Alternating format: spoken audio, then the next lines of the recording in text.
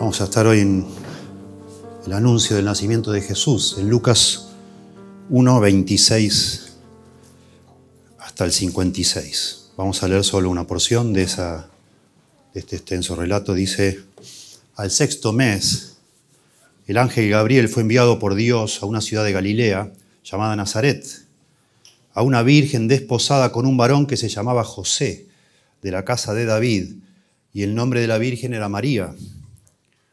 Vamos a notar mientras leemos, el énfasis por supuesto es en el nacimiento de Jesús, es el anuncio del ángel al nacimiento de Jesús, pero vamos a notar que hay mucha información sobre María. Y de eso vamos a hablar esta mañana. Sí, vamos a hablar por supuesto de Jesús, pero queremos hablar de María, del nacimiento virginal de Jesús, pero de la Virgen María queremos hablar, desde un punto de vista bíblico, evangélico, si les parece. Y entrando el ángel, verso 28, en donde ella estaba, dijo, salve, muy favorecida, el Señor es contigo, bendita tú entre las mujeres. Mas ella cuando le vio, se turbó por sus palabras y pensaba, ¿qué salutación sería esa? Entonces el ángel le dijo, María, no temas, porque has hallado gracia delante de Dios, y ahora concebirás en tu vientre y darás a luz un hijo, y llamarás su nombre Jesús. Este será grande y será llamado Hijo del Altísimo, y el Señor Dios le dará el trono de David su padre, y reinará sobre la casa de Jacob para siempre, y su reino no tendrá fin. Entonces María dijo al ángel, ¿cómo será esto? Pues no conozco varón. Respondiendo el ángel le dijo, el Espíritu Santo vendrá sobre ti y el poder del Altísimo te cubrirá con su sombra, por lo cual también el santo ser que nacerá será llamado Hijo de Dios y aquí tu parienta Elizabeth, ella también ha concebido hijo en su vejez, y este es el sexto mes para ella, lo que, la, la que llamaban estéril, porque nada hay imposible para Dios. Entonces María dijo, He aquí la sierva del Señor, hágase conforme, hágase conmigo, perdón, conforme a tu palabra. Y el ángel se fue de su presencia. Vamos a leer hasta ahí nada más. Se acerca el tiempo de Navidad, precioso tiempo para la mayoría de nosotros, para algunos no tanto. La gente que está sola no, no es el momento más lindo del año que digamos, a veces sufren un poco más. Pero la Navidad, como tantas celebraciones que hay en el año, es diferente. Sí, la mayoría de las celebraciones, los, digamos así, los feriados, celebramos a alguna persona, lo que hizo alguna persona, o algún evento histórico, algo que sucedió. En la Navidad es diferente, se celebra lo que Dios ha hecho, muy interesante. Es la única celebración en el año donde celebramos algo que no hizo nadie, o sea, ninguna persona humana, sino Dios. Hermoso, tremendo. Y hermoso todavía pensar para nosotros los creyentes que la Navidad ha sido, por lo menos hasta ahora, la celebración más popular en toda la historia, en todo el mundo, la más celebrada. Y qué hermoso que sea eso. Celebramos lo que Dios ha hecho, la iniciativa de Dios por acercarse al ser humano y resolver, resolver su gran problema, que es la salvación. Y aquí tenemos el relato más completo del nacimiento de Jesús en la Biblia. En Mateo también tenemos, hemos leído, pero aquí hay más detalles que en ningún otro lado. Y bueno, es bien, bien precioso que le prestemos atención. De alguna manera, si bien, que la, si bien la Navidad es, el, como decimos, el evento más celebrado a lo largo de, todas partes, de, en todo el mundo geográficamente e históricamente, lamentablemente es muy malentendido y a medida que ha pasado el tiempo se ha distorsionado. Y tenemos los Papá Noel y los regalos y, bueno, las, mil y una cosas que no tienen nada que ver, ¿no? Los, fuegos artificiales, los cohetes, ¿no? las bombitas de estruendo, cosas que uno dice, ¿qué tiene que ver todo esto? En fin no, nos debería sorprender. Siempre las verdades importantes de Dios y el relato de la Navidad es muy importante. En el, corazón de nuestra fe está la muerte de Cristo en la cruz. Pero lo que sucede en el nacimiento de Cristo para nosotros es muy importante. Teológicamente es muy importante. El nacimiento virginal de Cristo nos ayuda a nosotros a entender que el Salvador nuestro es Dios y es hombre. Las dos cosas Dios se tenía que humanar, dicen los teólogos, para poder venir a rescatarnos, a salvarnos. Se tenía que hacer hombre, sin dejar de ser Dios. Y eso es lo que sucede en lo que llamamos el nacimiento virginal, que es un nacimiento milagroso, único, donde Dios hace que una mujer quede encinta sin la participación de un varón.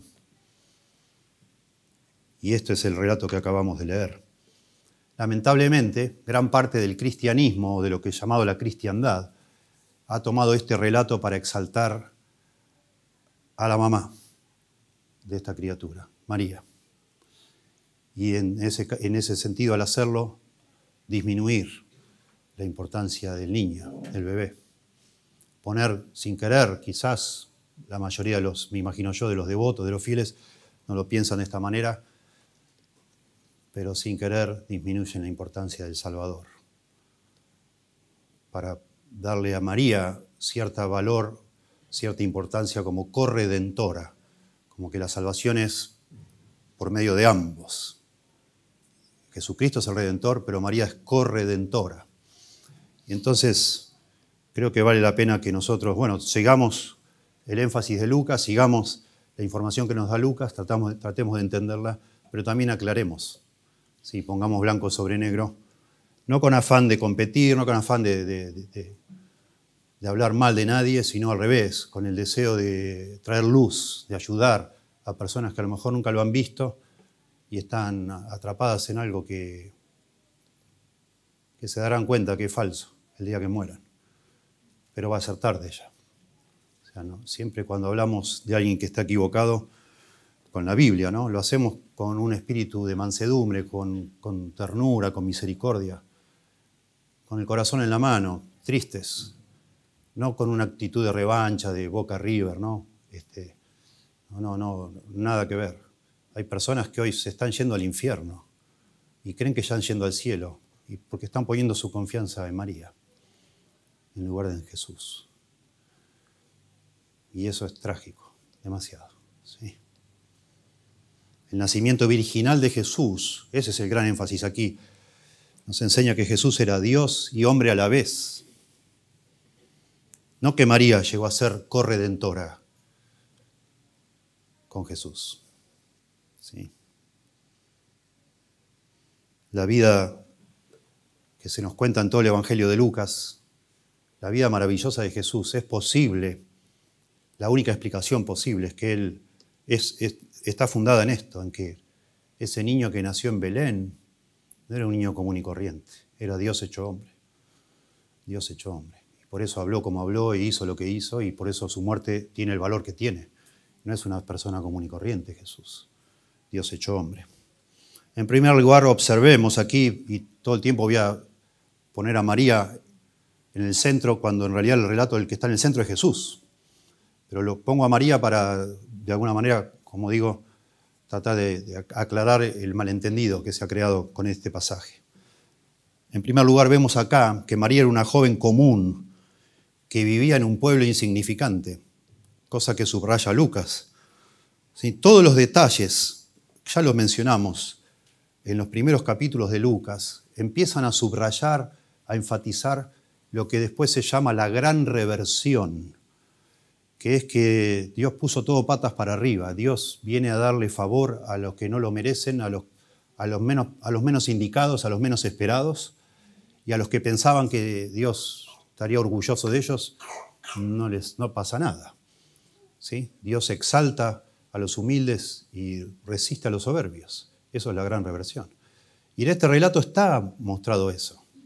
Porque inmediatamente el centro que había, había comenzado el Evangelio de Lucas en el templo de Jerusalén, que es el lugar central de la adoración, y se mueve toda la, toda la acción a una ciudad que ni siquiera es ciudad, acá dice la ciudad de Nazaret, pero no era ciudad. Nazaret tenía 200 habitantes, como mucho 300. Imagínense ustedes. Yo pensaba, no sé, una vez por curiosidad me metí con mi esposa acá en la ruta 205 en el taladro, el paraje El taladro, que hace años, hace 33 años estamos acá, eso eran tres casitas hace un tiempo. Ahora son, no sé, 50 casitas. Ahí puede ser que vivan 200 personas, el taladro. Imagínense ustedes la insignificancia, ni siquiera no sé si se llama aldea, paraje le dicen. paraje, el taladro. Nazaret.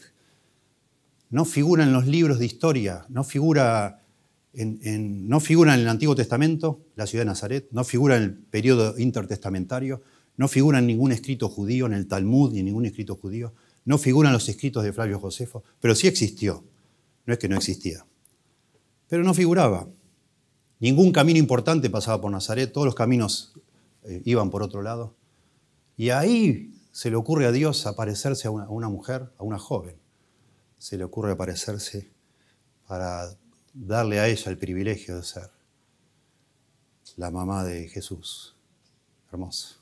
Dice verso 26, Lucas 1.26, al sexto mes el ángel Gabriel fue enviado por Dios, de nuevo la iniciativa de Dios, como vimos la semana pasada, a una ciudad de Galilea llamada Nazaret. Unos 90 kilómetros al norte de Jerusalén es esto. Bueno, hoy en día está Nazaret. Hoy en día uno, si visita Israel, vas, a Nazaret. Y no es que inventaron un lugar llamado Nazaret, está Nazaret. Sí, y uno puede identificar distintos eventos que mencionan los evangelios. Pero era un lugar insignificante. Dice enseguida para quitar el, para quitar el enfoque de, de la ciudad y ponerlo donde corresponde, que es en una persona, María, enseguida dice a una virgen desposada con un varón que se llamaba José. Dice al sexto mes, es el sexto mes del embarazo de Elizabeth, la pariente de María. Y entonces el ángel va a ver a una persona, a una virgen, una virgen desposada con un varón que se llamaba José.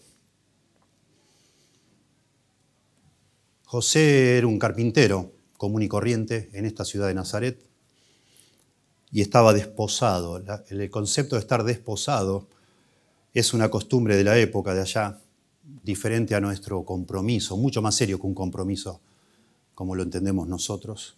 El matrimonio en el Medio Oriente era, un, digamos así, un evento de dos pasos, el desposorio y la boda. El desposorio por lo general era un año antes de la boda, donde los padres firmaban como un contrato. Se, recibía el dinero, la dote, por la, por la hija, por la dama, y ya se consideraban, ya se hablaba de esposo y esposa, pero cada uno vivía en su casa, ni se tocaban. Y en ese año lo que se procuraba es, bueno, bueno ver la fidelidad de la joven y que el hombre se pusiera las pilas para organizar todo lo que iba a ser, donde iba a tener su vida, ¿no? Por lo general se edificaba una pieza, se adicionaba una pieza a la casa donde vivía el hombre o la mujer. ¿sí? Eso era el desposorio. Este hombre, José, ya estaba desposado con María, ya habían firmado el contrato, pero todavía no habían tenido relaciones íntimas. No estaban, no estaban todavía casados en el sentido de tener intimidad. Por eso dice que era una virgen, María era una virgen. La palabra virgen se refiere solo a mujeres que no han tenido relaciones sexuales y nunca, jamás se usa con una persona que está casada sí desposada, pero no casada. María nunca había conocido un hombre. ¿sí? Y ese es el punto acá del milagro que va a suceder. Con un contraste, ¿no? Con Elizabeth. Elizabeth era ya una mujer de edad mayor, era estéril, y fue un milagro que quedara embarazada. Pero eso ya había sucedido en, el Antiguo Testamento varias veces, ya, se sabía que Dios podía hacer eso.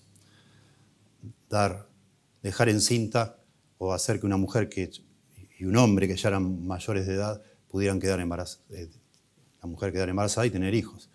Nunca había sucedido que una mujer que no tuviera contacto con un varón quedara embarazada.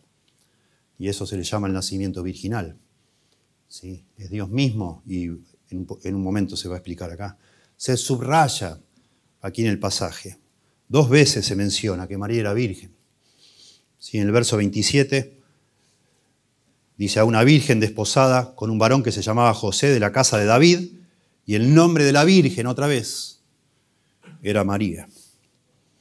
Sí, dos nombres comunes, José y María, para la época. José era de la casa de David, de información importante porque es descendiente de David. La casa de David es toda la genealogía de, la dinastía, quiero decir, del rey David el Mesías que iba a venir tenía que ser de la casa de David. De manera que Jesús calificaba para, para ser el Mesías. por ser descendiente de David. María también era descendiente de David, después lo explica Lucas un poco más adelante, manera que no quedaban dudas de que, a pesar de vivir en un pueblito que nadie conocía, ambos, papá y mamá, eh, tenían, lo más importante era el padre, aunque José no fue el padre real, pero sí él adoptaba a Jesús como su hijo y lo hizo. Jesús era descendiente de David, era muy importante eso. Y eso a Lucas, por supuesto, ese detalle no se le va a escapar.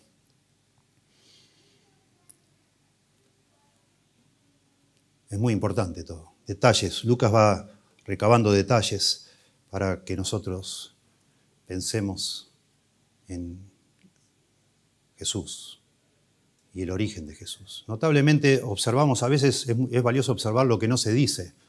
Acuérdense que de Elizabeth y de Zacarías sí, se dijo que eran personas piadosas. Ambos eran justos, capítulo 1, verso 6. Ambos eran justos delante de Dios y andaban irreprensibles en todos los mandamientos y ordenanzas del Señor. De María no se dice nada, solo que era virgen. Pero no es, que ser virgen era una virtud, porque no lo era. Era lo más normal del mundo. De hecho, si María no hubiera sido virgen antes de casarse, no se hubiera podido casar con nadie. Era una ofrenda eso. Solo que Lucas no quiere subrayar demasiado eh, las características de María, por alguna razón no quiere, o el Espíritu Santo no lo hace, quizás previendo toda la, la mariolatría que iba algún día a, a suceder a todos estos relatos. No lo sabemos. Solo se dice que era virgen. Y sabemos, por también los datos históricos, que una, una joven en aquella época y en aquel lugar podía, a partir recién de los 12 años, se le dejaba estar desposada con un hombre. Antes no se la dejaba, sí a partir de los 12 años. Y la mayoría de las damas, de las niñas, jovencitas, a esa edad se desposaban. Y esperaban más o menos un año y al año se casaban. Así que podemos decir, Lucas no dice la edad de María, pero podemos pensar que María tendría 13, 14 o 15 años. No más. Asombroso. Imagínense ustedes. Tremendo. Tremendo. Para mí es tremendo de pensarlo, de imaginarlo.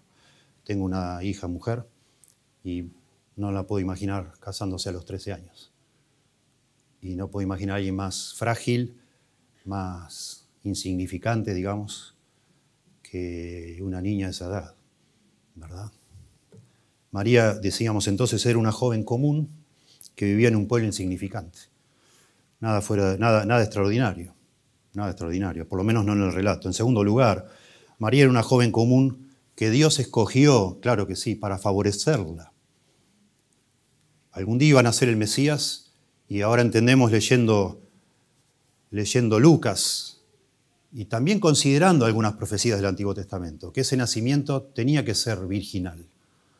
No sé si se acuerdan ustedes, allá en Génesis capítulo 3, después que Adán y Eva caen en pecado, y Dios asombrosamente ya en medio de las maldiciones que le da, maldiciones a Adán, a Eva y a la serpiente, ya promete una futura solución a este problema que es el pecado.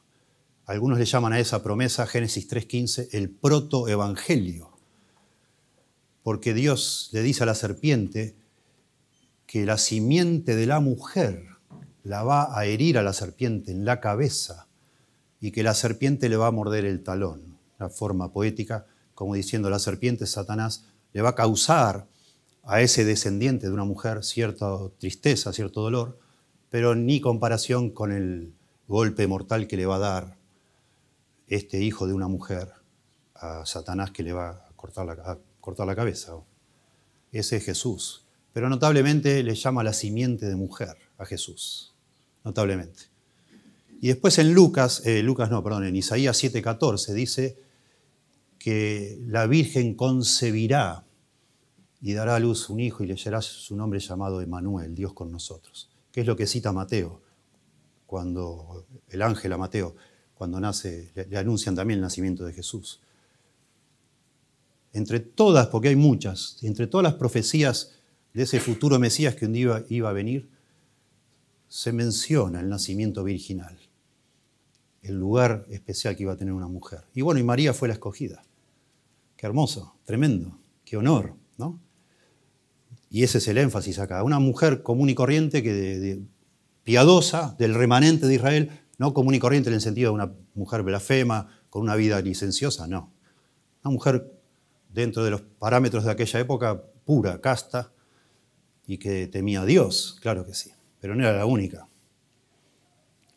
Dice, y entrando el ángel, verso 28, en donde ella estaba, dijo, salve, muy favorecida, el Señor es contigo, bendita tú entre las mujeres.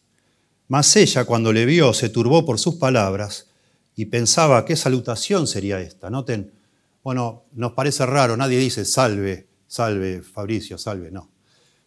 Pero esto es una traducción de, un, de un, saludo griego muy común, que es jaire. Hasta el día de hoy, los, griegos usan jaire para saludarse, para decir hola y para decir adiós, jaire, jaire.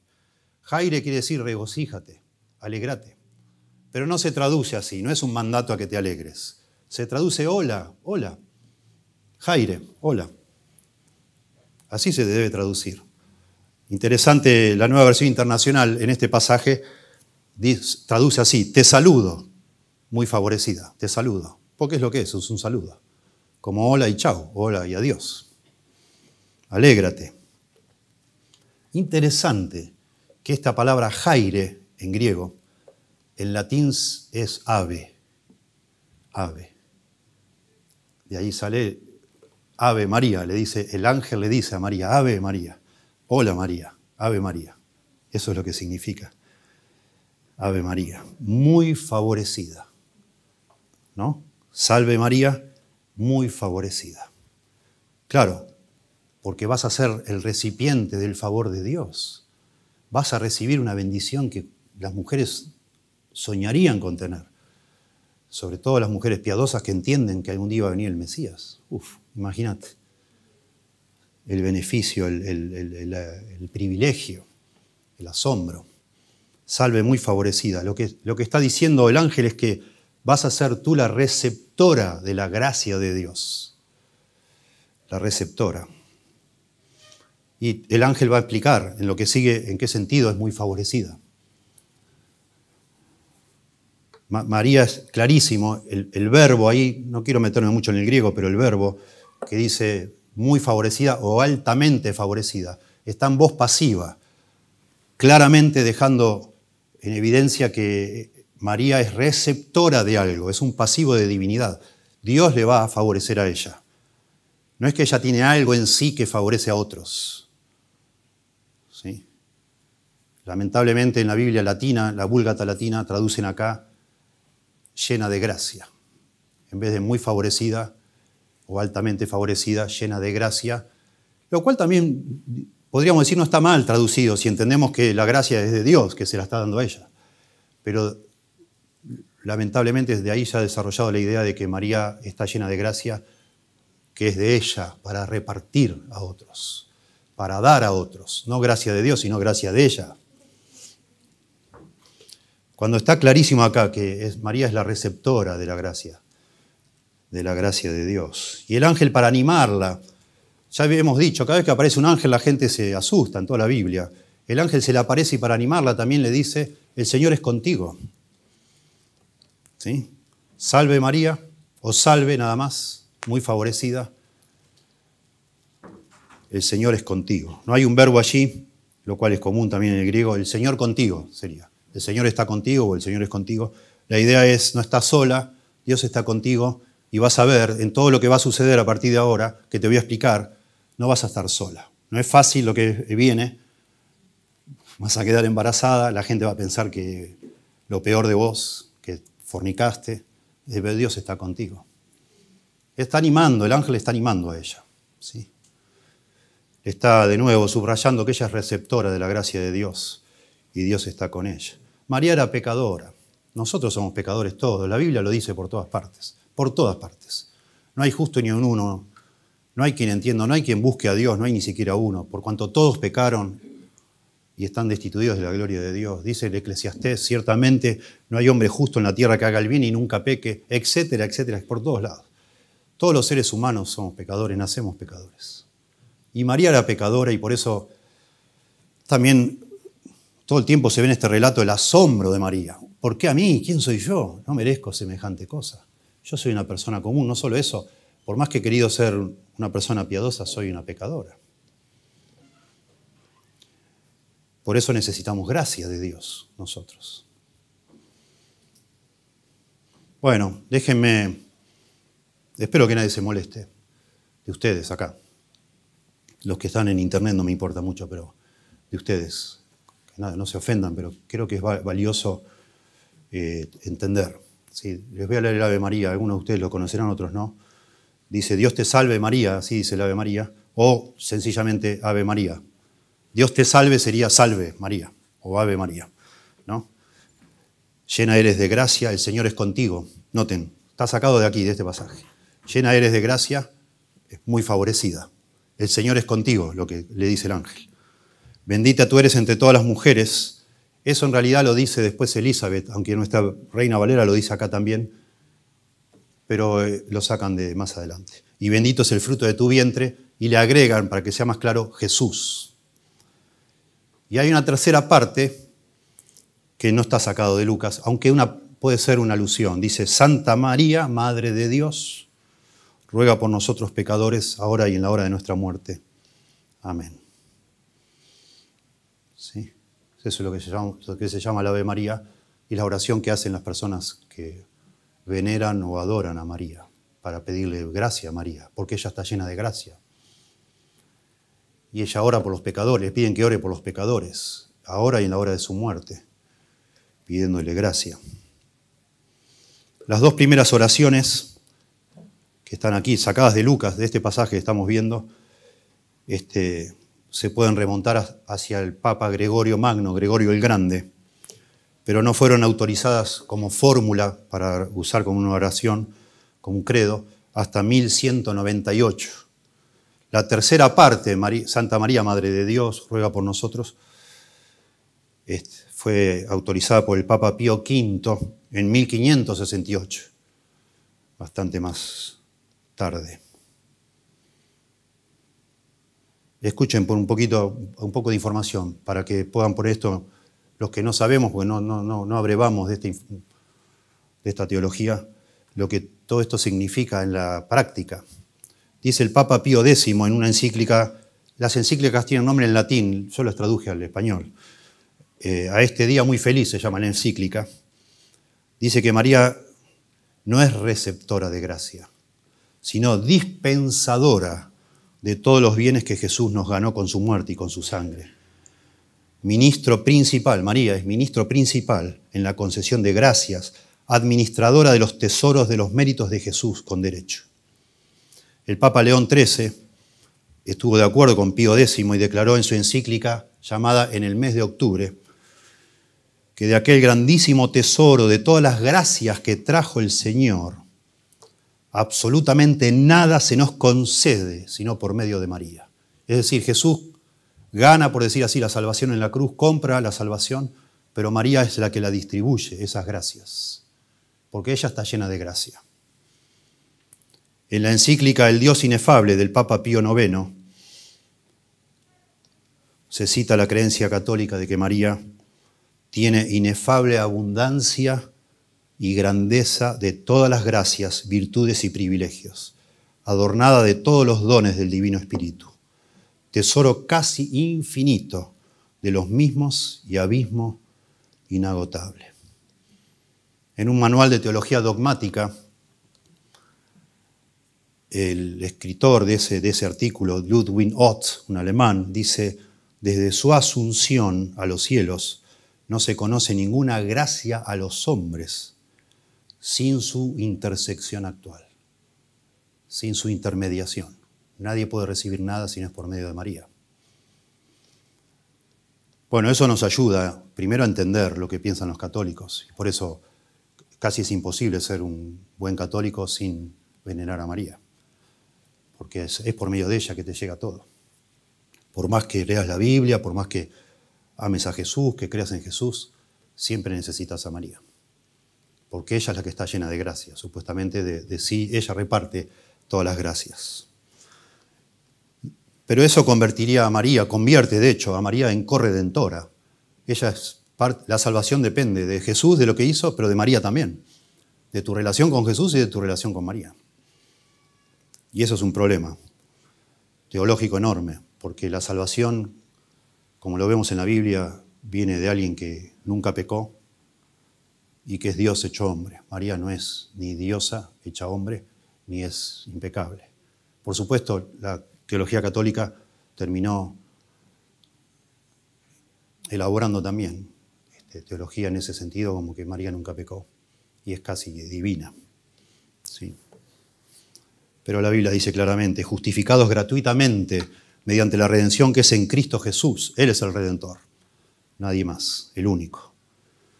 No hay otro nombre bajo el cielo dado a los hombres en el que podamos ser salvos, dice Pablo en el libro de Hechos, etc. ella, María, no oye ni contesta oraciones, ni intercede por nadie, porque en la Biblia dice que hay un solo mediador entre Dios y los hombres, Jesucristo hombre. Nada más. Dice de nuevo el Papa Pío X en esa encíclica a ese día muy feliz. Dice que no hay un camino más seguro y más expedito para unir a todos con Cristo que el que pasa a través de María y que por ese camino podemos lograr la perfecta adopción de hijos hasta llegar a ser santos e inmaculados en la presencia de Dios. Bueno, eso no es bíblico, no es bíblico. Y si no es bíblico es blasfemo, es falso, es blasfemo. Y es erróneo y conduce al error y a la perdición. Ella es receptora, está clarísimo acá, el Señor es contigo. ¿No? Saludos María o hola María, Ave María o Jaire María, muy favorecida, el Señor es contigo. Verso 29 dice, más ella cuando le vio al ángel se turbó no por verlo, es el énfasis en original, sino por sus palabras, diciendo, ¿qué salutación sería esta? ¿Qué saludo es este? Bueno, Jaire es el saludo, está lleno en la Biblia de Jaire por todos lados, eso no, no, le llamó la atención. Lo que le llamó la atención es que le diga muy favorecida. ¿De qué está hablando este ángel? ¿Qué pasó? Ella nunca sabe que es Gabriel, a diferencia de Zacarías, no sabe quién es el ángel que le está hablando, pero dice, ¿pero de qué está hablando? ¿Por qué me dice así? ¿Qué clase de saludo es este? La palabra se turbó es más intensa incluso que el miedo que tuvo Zacarías. Quedó perpleja, estaba confundida María. ¿De qué estás hablando, Ángel? ¿Por qué muy favorecida? ¿Por qué me decís eso? Dios está contigo, Dios es contigo. ¿De qué me estás hablando? Y entonces el ángel va a explicar a partir del verso 30. Y yo digo, para todavía poner más, quizás hasta a lo mejor redundante, entre el verso 30 y 37 vemos claramente que María era una joven común que halló gracia delante de Dios. Dios le dio un favor especial, le dio gracia. Dice entonces el, el ángel le dijo, verso 30, María, no temas, porque has hallado gracia delante de Dios. Dios, le, Dios da la gracia. Y ahora concebirás en tu vientre y darás a luz un hijo y llamarás su nombre Jesús bueno, etcétera, lo vamos desarrollando mientras hablamos, ¿sí? Así como dice en el Antiguo Testamento, cuando Dios decide destruir toda la tierra, en Génesis capítulo 6, pero dice que, pero Noé halló gracia ante los ojos de Dios. Y Dios salvó a Noé. Y lo puso en un arca, lo mandó a construir el arca y se salvó Noé. Halló gracia. Pero no es que Noé no era pecador. Ahí se discute en Génesis 6 que son todos pecadores, que todo el mundo solo piensa hacer el mal y por eso Dios determina destruir la tierra. Pero Noé dice, más Noé halló gracia ante los ojos de Dios, diciendo, bueno, no es que Noé era el único que no pecaba, entonces, bueno, lo salvamos en un arca. No, Noé necesitaba gracia para no ser destruido también. Alguien, Dios no quería recrear toda la tierra otra vez. Alguien decidió que alguien sea el que, el favorecido, digamos así, le, le halló gracia. Es el mismo paralelo aquí, ¿no? Hermoso. Siempre en la Biblia la gracia es gracia de Dios, la gracia de Dios. No es la gracia de María ni de otra persona. Y ahora dice, porque hallaste gracia a los ojos de Dios, el ángel le dice, concebirás en tu vientre y darás a luz un hijo y llamarás su nombre Jesús. Y Lucas empieza a desarrollar lo que son las esperanzas mesiánicas, que las entiende muy bien. Va a ser el Mesías. Jesús significa Dios salva, el Salvador. Este será grande, dice. Acuérdense, Juan el Bautista iba a, ser, eh, iba a ser grande delante de Dios. Jesús va a ser grande en manera absoluta, sin calificativos. Y será llamado Hijo del Altísimo. Son todos títulos mesiánicos. El Altísimo es Dios, es uno de los nombres de Dios en el Antiguo Testamento, Hijo del Altísimo. Y el Señor Dios le dará el trono de David, su padre, el Mesías. Eso es lo que era el Mesías, un descendiente de David que iba a gobernar en el trono de David como rey. Y reinará, verso 33, lo tiene bien claro Lucas, todas las promesas que se estaban esperando. Y dice, y reinará sobre la casa de Jacob, sobre Israel, para siempre, y su reino no tendrá fin. Tema mesiánico todo. Y María entiende, porque es una judía piadosa, y sabe lo que le está diciendo el ángel, vas a ser la mamá del Mesías, del ungido, del rey, futuro rey. No dice Lucas, no lo dice acá, ni lo dice en todo el Evangelio que, que Jesús ya eh, al venir a este mundo empezaba a reinar ya. De hecho, cuando comienza el libro de Hechos, escrito también por Lucas, los apóstoles dicen, ¿comenzará ya tu reino, Señor? Ya estamos. Y el Señor asciende al cielo y dice, no les toca a ustedes saber. Y todavía no comenzó el reino, como estaba predicho en el Antiguo Testamento, que es un reino, dice acá, para siempre, y está relacionado con los judíos, con la casa de Jacob, no de manera eh, simbólica, sino de manera literal. Reinará sobre la casa de Jacob. Le está diciendo el ángel. Porque ella dice, ¿qué, ¿qué, saludo es este? Bueno, te estoy diciendo así porque vos vas a ser la mamá del Mesías. Tu, hijo que van a ser se va a llamar Jesús y él va a ser el Hijo del Altísimo. Y, el que va a tener el trono, el, rey, el reino, él va a ser el rey. Él va a ser el rey. Importante esto. Jesús va a ser el rey, tu hijo va a ser el rey que estábamos esperando. Entonces María dijo al ángel, ¿cómo será esto? Pues no conozco varón. Noten, María claramente el, énfasis, entendió enseguida María. Lo que le está diciendo el ángel no es que eh, cuando te cases con José, no ahora que estás desposada, sino después cuando, digamos, llegue la consumación de tu matrimonio, ustedes van a ser los papás y la mamá del Mesías. No. Entendió perfectamente María que el ángel estaba diciendo, vos así como estás, vas a, ser, vas a quedar encinta del Mesías. Y ella dice, pero ¿cómo puede ser? ¿Cómo va a ser esto? Pues no conozco varón, yo no he estado jamás con nadie. Entendió enseguida perfectamente, no hay duda. Y entonces el ángel vuelve a explicarle. Noten que el ángel no se enoja acá como pasa con Zacarías, no es que ya está... Zacarías dijo, no, ¿cómo no puede ser? Ya, somos viejos, mi esposa y yo. Y el ángel le dice, bueno, porque no creíste, no, no. Acá aparentemente que el ángel sabría que María sí, tenía fe, no estaba dudando. Ella lo que no entendía porque es algo que nunca sucedió. Zacarías y Elizabeth sabían, porque conocían la Biblia, que muchas veces en la Biblia personas estériles y ya de, avanzadas en años, Abraham tenía 100 años y pudo tener hijos con Sara. Ellos dudaron, pero lo que está hablando acá es algo que nunca pasó jamás y necesitaba una explicación. ¿Cómo va a ser eso? Y de hecho nunca más sucedió, ¿no? Obviamente. Y entonces el ángel,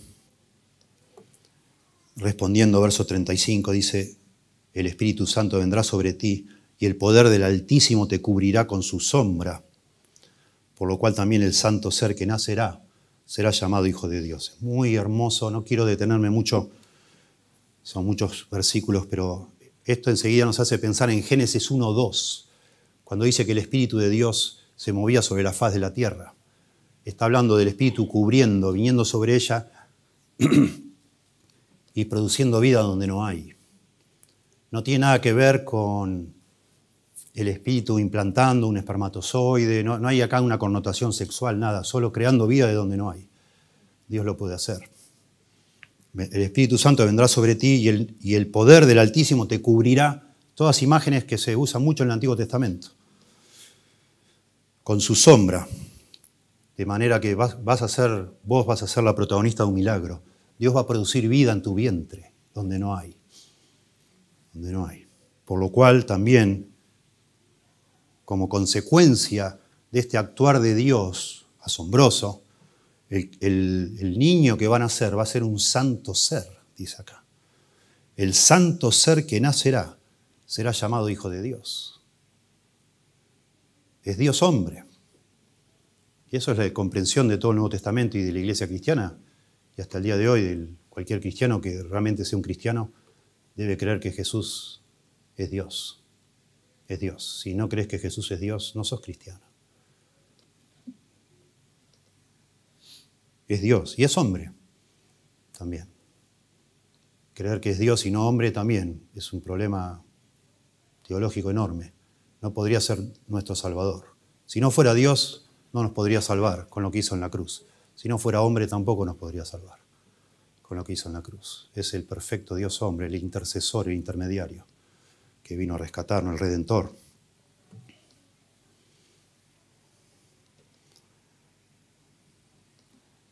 María halló gracia delante de Dios para que sucediera esto. Todo el énfasis está puesto en la obra de Dios.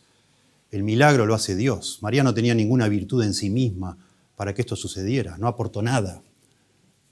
Nada, solo su virginidad en el sentido de que nadie podía dudar de que esto no fue como lo dice el ángel que fue. Pero nada más, es todo por gracia, gracia de Dios. Está claro en el relato que es así. Está claro que el, el ángel, el énfasis del ángel es que este bebé que van a nacer, y eso es lo importante, va a ser el Mesías. Y por eso María, está, realmente es muy favorecida, ella va a ser la mamá del Mesías. Y eso es lo que lo hace a ella diferente, particular. A partir del nacimiento de este bebé, ella va a ser una persona famosa, por decir así, en todas partes. La mamá del Mesías. Tremenda. En cuarto lugar, María se vio a sí misma como sierva, como una sierva, no como la reina del cielo. El rey, está claro acá, es Jesús, el que va a venir, en la casa de David, y va a reinar por siempre. María dice, verso 38, entonces María dijo, he aquí la sierva del Señor, hágase conmigo conforme a tu palabra. Y el ángel se fue de su presencia.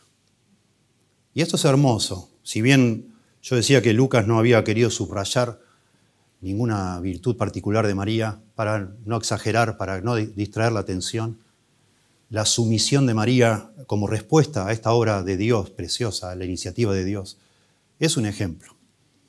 Nosotros los creyentes que queremos ser realmente piadosos, debemos imitar la sumisión de María a lo que Dios decide.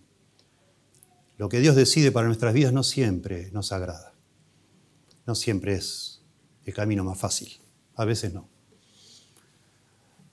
Y María, la actitud de María es hermosa. Lo que el Señor diga está bien, lo aceptamos. Yo soy una sierva, que hagan conmigo lo que quieran.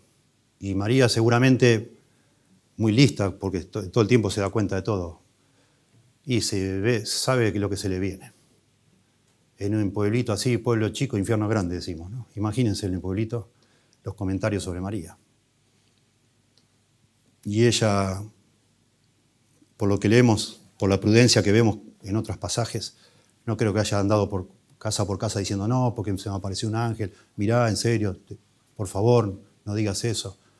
Ella, para todos los habitantes de Nazaret, fue una fornicaria. Y en realidad, José mismo lo leemos en el pasaje de Mateo, cuando se le aparece el ángel. José la quiso dejar secretamente. Porque en realidad, si se aplicaba la ley, eh, tenía que morir a pedradas ella por, haber sido infiel, porque ya había firmado ese contrato, el desposorio, y se requería que sea fiel. Y José no había hecho nada. Y él dice, uff, a esta mujer la van a matar a pedradas. Por eso la quiso dejar secretamente, dice el texto. Pero María dice, bueno, lo que sea, yo soy una sierva. Y es similar este concepto de hablar de sí misma como sierva al que habla Ana la mamá de Samuel, que era una mujer estéril también, y después sabemos por la oración, que en un momento más va a ser María, sabemos que María conoce la oración de Ana, la conoce muy bien. Y a lo mejor aún toma de allí este concepto. Ana en 1 Samuel capítulo 1, ora a Dios, dice Jehová de los ejércitos, si te dignares a mirar la aflicción de tu sierva, y te acordares de mí y no te olvidares de tu sierva, sino que dieres a tu sierva un hijo varón. Se llama a sí misma sierva. Esto es el Antiguo Testamento. En el Nuevo, María usa la, palabra dulos, dulé, en realidad, en femenino, sierva, que es la palabra para esclavo también. Describe a alguien de condición humilde que se dirige a un superior en reconocimiento de su posición, como una esclava de Dios. Señor, lo que tú digas, yo lo hago. No importa lo que digan, no importa lo que pase, eh, lo voy a hacer. Lo que vos dispongas está bien. No sé, ahora hablamos mucho de cómo te percibís, cómo me percibo, ¿no? María no se percibía como la reina del cielo, porque no era, no era. Eso se inventó después, lamentablemente. Tremendo. En Juan capítulo 8, verso 41, los fariseos le dicen a Jesús, nosotros no somos hijos de fornicación, implicando como vos sos hijo de fornicación. Todo el mundo sabe acá que vos naciste de fornicación. No obstante, bueno, María, obediente, humilde, sumisa, aceptó lo que Dios dispuso para ella. Bueno, de nuevo, la Iglesia Católica Romana convirtió a este humilde joven en la reina del cielo.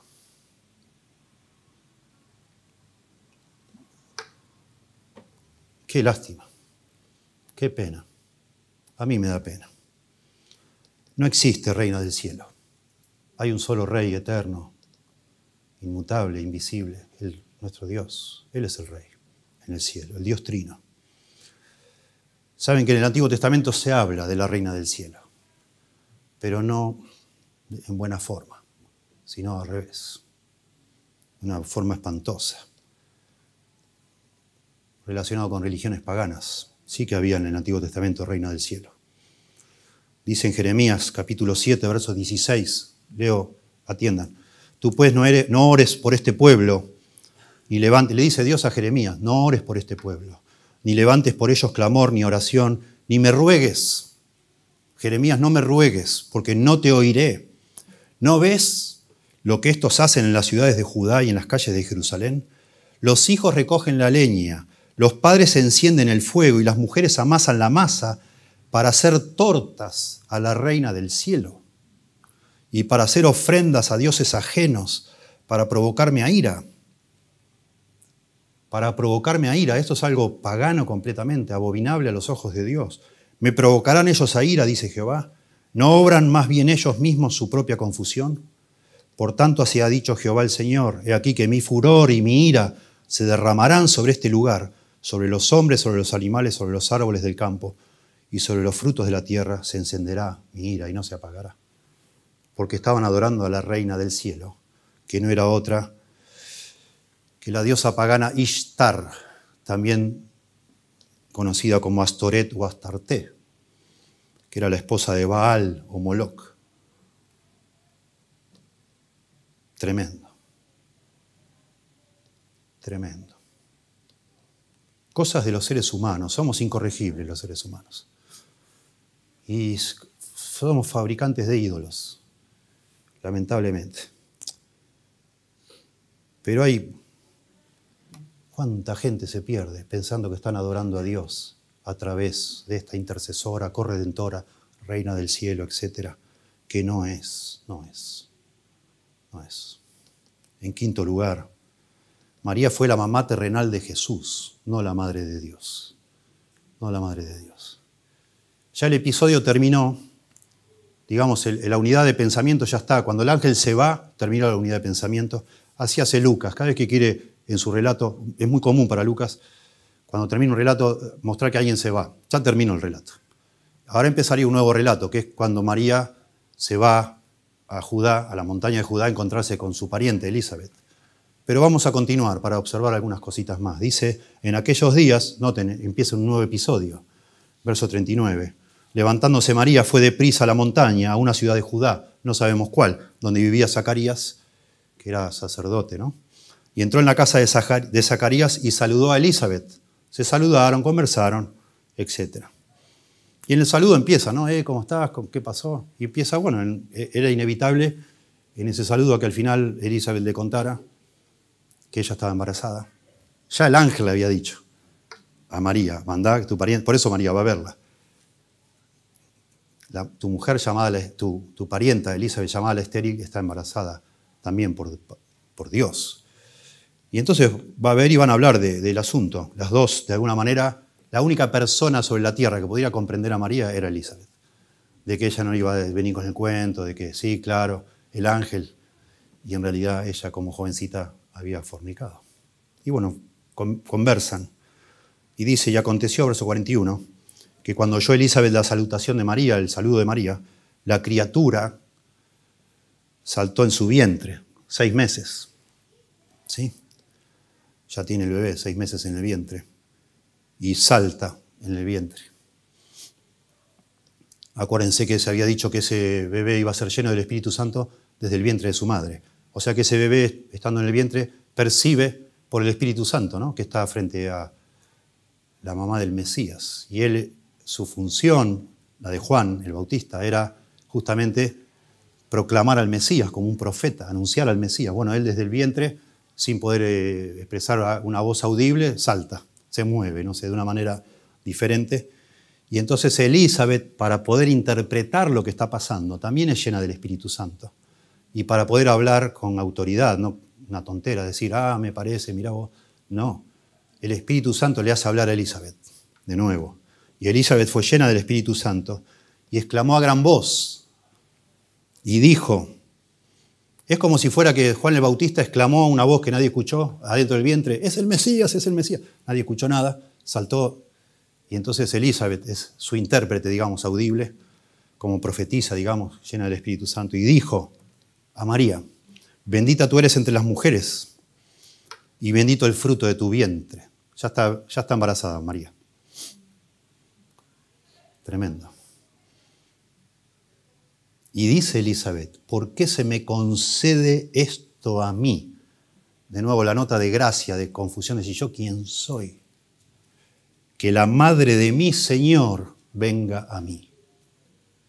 El énfasis en todo el relato, y acá también, es en el Señor que la madre de mi Señor venga a mí. Mi Señor, tu hijo que va a nacer, María, es mi Señor, es el Señor de todos, es el Mesías, Dios hecho hombre, el Señor. Y explica el relato, porque tan pronto como llegó la voz de tu salutación a mis oídos, le dice Elizabeth a María, la criatura en mi vientre saltó de alegría en mi vientre. Testimonio, ¿no? Es muy lindo este relato cortito, es como que Lucas comenzó con la historia de Elizabeth y Zacarías y después larga con la historia de María y acá recién las une a las dos. Y entendemos los que leemos decimos, ah, mira, qué interesante. Juan es el precursor del Mesías, el Mesías va a ser Jesús y acá hay una unión y Dios usa, Dios usa a Elizabeth y a Juan el Bautista para confirmar y alentar a María. Eso es lo que está pasando acá. Pero claro, Elizabeth dice, ¿por, qué se me concede esto a mí, que la madre de mi Señor venga a mí? Y los que abrevaron de acá, porque no habla tanto, tanto el Nuevo Testamento sobre María, los que sacaron de acá para armar toda esta doctrina endiosando a María, dicen, ah, mira, María es la madre de Dios. Acá dice la madre de mi Señor, Jesús. María fue la madre terrenal de Jesús, pero Jesús siempre existió.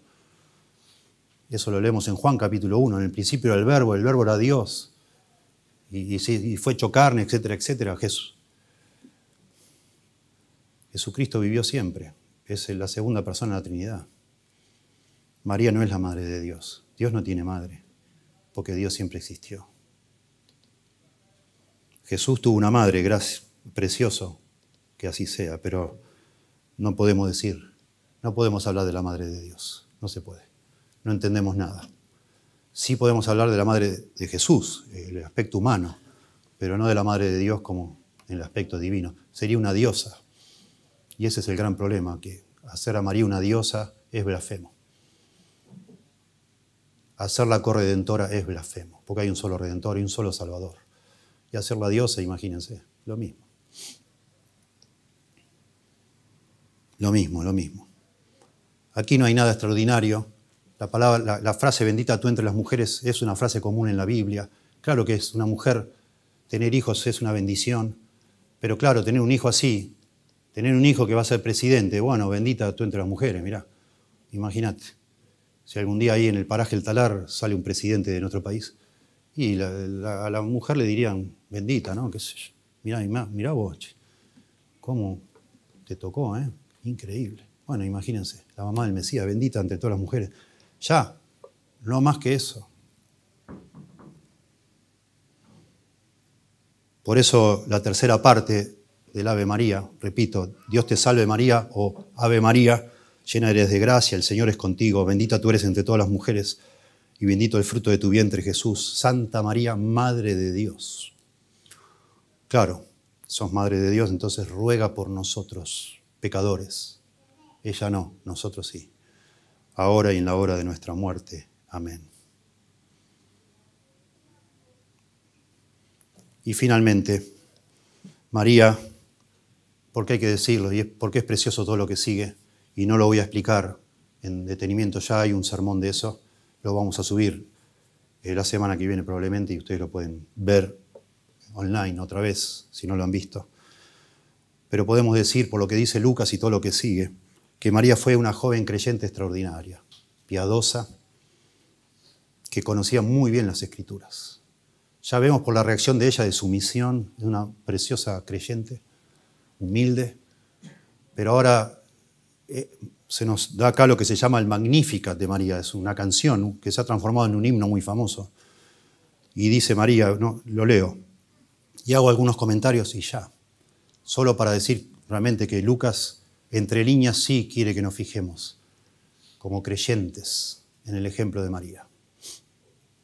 Podríamos decir así, Lucas quiere que nosotros como creyentes, además por supuesto de entender el aspecto teológico, la profundidad teológica insondable de quién es Jesús realmente, también, ¿por qué no tomar modelo de María como un creyente debe reaccionar a la gracia de Dios, a tanta gracia de Dios? ¿Y cómo debe reaccionar un creyente como María? Con sumisión, con humildad, con gratitud, con alabanza y con discernimiento. A mí me asombra, pensando que María tenía 13 años, pongamos, a mí me asombra lo que conoce María de las Escrituras. Me asombra mucho. Noten, verso 45. Y bienaventurada la que creyó, dice esto Elizabeth todavía. Lo dejé en esta parte para, porque acá subraya la fe de María. Bienaventurada la que creyó, porque se cumplirá lo que le fue dicho de parte del Señor. Bueno, creyó al ángel, aceptó sumisamente y va, Dios le va a cumplir. Entonces María dijo, y aquí viene el Magnificat. La palabra Magnificat también del latín está sacado de, esta, de este verbo. Engrandece mi alma al Señor. Magnifica mi alma al Señor. Claro, prorrumpe en alabanza. Esa es la reacción de un creyente ante la gracia de Dios. Y wow, engrandece mi alma al Señor y mi espíritu se regocija en Dios mi Salvador, gozo porque ha mirado la bajeza de su sierva. Noten cómo se percibe María a sí misma. La bajeza de su sierva. Así se ve. Yo no soy, soy nada, soy una hormiguita, soy polvo. ¿Quién soy yo para que el Señor me escoja para semejante privilegio? Está hablando María, ¿sí? Pues he aquí desde ahora me dirán bienaventuradas, bienaventurada, perdón, todas las generaciones. Voy a ser famosa, y sí, claro, obvio. Porque me ha hecho grandes cosas el poderoso. Santo es su nombre y su misericordia es de generación en generación. Acá está citando pasajes del Antiguo Testamento un montón.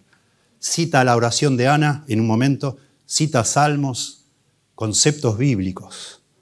Hermosa oración.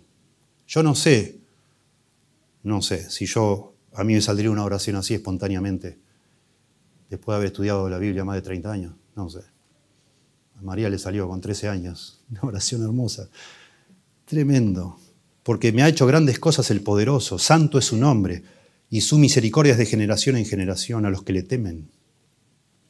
Hizo proezas con su brazo, esparció a los soberbios en los pensamientos de sus corazones. Aquí está la oración de Ana y acá está la gran reversión, que Dios exalta a los humildes y humilla a los, a los poderosos. Noten, hizo proeza con su brazo, esparció a los soberbios en el pensamiento de sus corazones, quitó de los tronos a los poderosos y exaltó a los humildes, a los hambrientos colmó de bienes y a los ricos envió vacíos. Todo al revés. Esto no es No es casual, esto es el tema de todo el Evangelio de Lucas. Se va a repetir este, este tema todo el tiempo, todo el tiempo, todo el tiempo. Que Dios da todo vuelta. Socorrió a Israel, y ahí habla ya no de sí misma, sino todo el pueblo. Socorrió a Israel su siervo, claro, mandando al Mesías, acordándose de la misericordia de la cual habló a nuestros padres, para con Abraham, Abraham y su descendencia para siempre. Y se quedó María con ella como tres meses cuando iban a ser Juan. Y después se volvió a su casa, probablemente asistiéndola. Y ya, algunos dicen, no, se quedó para que nadie supiera que estaba embarazada. Nada que ver. Si los primeros tres meses ni se nota. Apareció en Nazaret a los tres meses, ya embarazada. Quedó, acá lo dice, vaya a saber, asistiendo a su pariente, que no sabemos qué parentesco era, pero... Bueno, saben que dos veces más en el Evangelio de Lucas se relata de personas que vienen a Jesús y le dicen, Señor, ahí afuera está tu mamá y tus hermanos. Y Jesús le dice, no, no, mi mamá y mis hermanos son los que hacen la voluntad de Dios, que oyen mi palabra y hacen la voluntad de Dios. Subrayando de nuevo Jesús, al final que lo que él busca es la actitud de María, obediencia, sumisión, humildad a lo que Dios ha determinado. Tremendo. Y sí, también comienza el libro de Hechos y se nos dice que en el aposento alto, donde habían estado unas semanas antes, se reunía la iglesia de unas 400 personas y entre ellos estaba María. María empezó a congregarse en la iglesia primitiva y también los hermanos de Jesús. Pero no más que eso. Nadie la vio a ella en ninguna parte de la Biblia. Se habla de ella como más que eso. Una creyente fiel, piadosa, ejemplar, como todos los creyentes deberían ser. ¿Sí? El único redentor es Jesús. El único.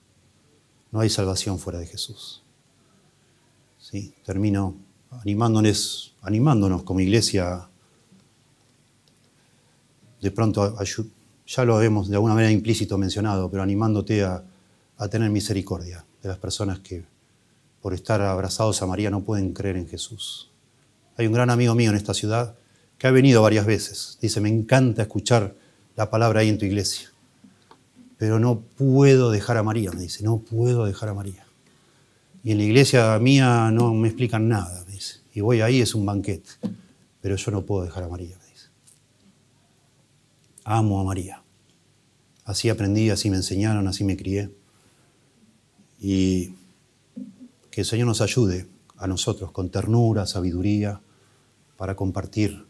No hablar mal de María, porque no, nadie habla mal de María en la Biblia, sino hablar bien de Jesús, exaltar tanto a Jesús, que no necesitemos a alguien que ayude a Jesús, porque Dios Jesús no necesita que nadie lo ayude. Él es el Rey del cielo que dejó su gloria para venir a salvarnos. Y Él, su sacrificio es perfecto y suficiente en la cruz. No necesitamos nada más. Pero que Dios nos dé sabiduría y gracia para poder, si, es, si Él quiere, rescatar personas que están aferradas a algo que creen que es bíblico y no lo es, no lo es. Te damos gracias, Señor, por tu palabra.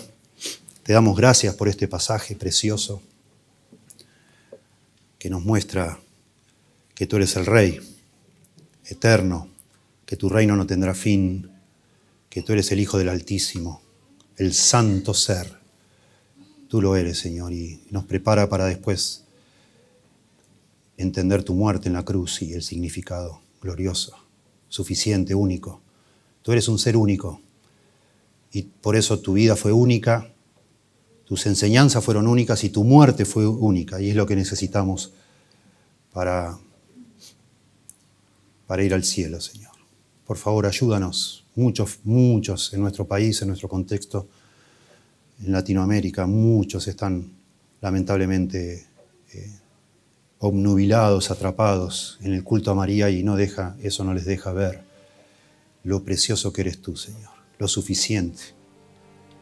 Por favor, usa este sermón en nuestras vidas y en las de otras personas. Te lo ruego en el nombre de Jesús. Amén.